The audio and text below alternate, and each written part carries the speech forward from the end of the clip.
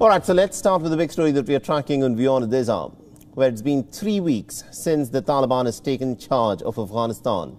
And the world, of course, is watching Taliban's attempts to form a new government in Afghanistan. The Taliban, remember, were expected to announce the government in Kabul on Friday afternoon, but the announcement has been delayed to the coming week. And the delay coincides with the arrival of the senior Pakistani military officials delegation in Kabul, led by Pakistan's top spy agency chief Faiz Hamid, who reportedly has also met with Taliban's senior leader and co-founder Mullah Abdul Ghani Baradar in Kabul, ahead of any decisions on a new government.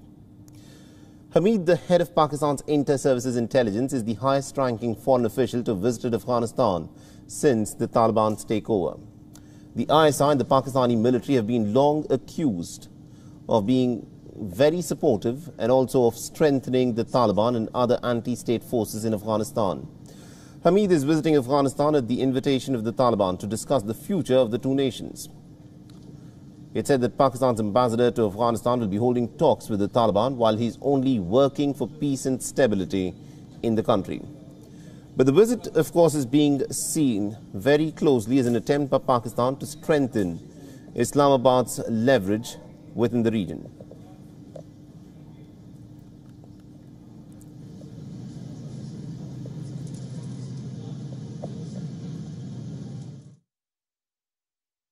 I have just landed and uh, We are working for peace and stability in Afghanistan. don't worry, everything will be okay.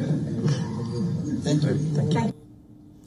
According to what WION has gathered from sources, the key discussion in the meetings included the pending requests from countries and international organizations for repatriation through Pakistan and how a mechanism could in fact be determined, allowing for evacuations through Pakistan. Migrant crisis as well as border management are also subjects in question, especially for Afghans who routinely cross over and then return between the very porous borders between Afghanistan and Pakistan.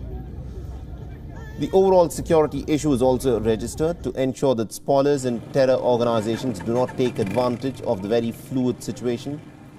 A visit by a Pakistani delegation also followed the British Foreign Secretary Dominic Raab's visit to Islamabad, where Pakistan's Chief of Army Staff General Qamar Javed Bajwa told Dominic Raab that Islamabad will assist the Taliban in the formation of an inclusive administration in Afghanistan. The Mullah Abdul Ghani Baradar also held talks with Qatar's special envoy for counterterrorism and mediation of conflict resolution, Mutlaq bin Majid Al Qahtani. WION is now available in your country. Download the app now and get all the news on the move.